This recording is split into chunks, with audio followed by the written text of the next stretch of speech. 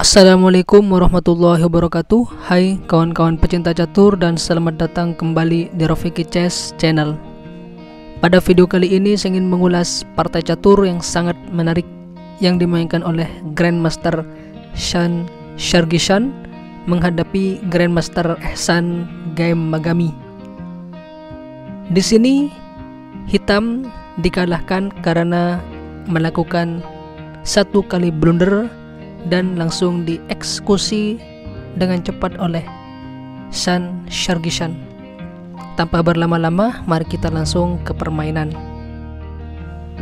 Shan Shargishan sebagai putih melangkah pion D4, pembukaan yang sangat populer di era percaturan modern. Dijawab kuda F6, pion C4, dan pion C5.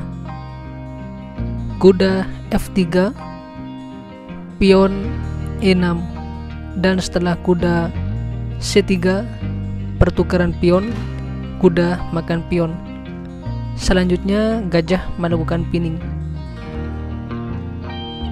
pion G3 mempersiapkan fence itu gajah.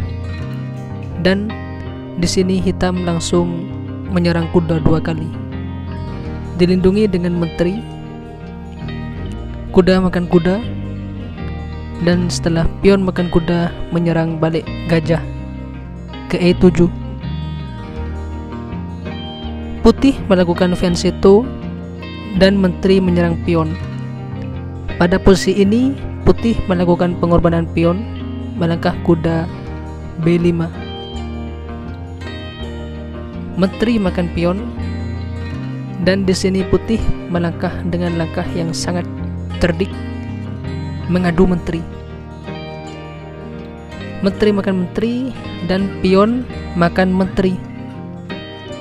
Membuka file A serta memperkuat kedudukan pion di file B dan C.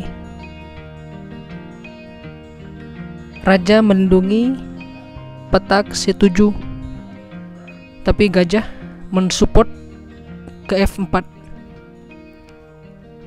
dan di langkah berikutnya ini kuda ke-6 ini adalah langkah blunder.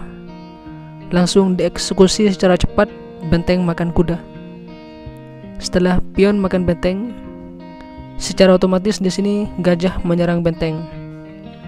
Tapi putih tidak keburu-buru untuk mengambil benteng dia melakukan skak dengan gajah. Dan setelah raja bergeser ke E8 kuda melakukan skak. Dan tepat di posisi ini hitam langsung menyerah. Karena jika gajah makan kuda gajah makan gajah. Dan di saat yang sama benteng hitam masih terserang. Kalau gajah ke B7 gajah makan gajah. Setelah benteng menyelamatkan diri dan gajah menyerang benteng benteng lagi-lagi terjebak. Oke, mungkin itu saja kawan videonya. Silahkan kalau mau dilanjut otak-atik sendiri. Semoga bermanfaat. Terima kasih.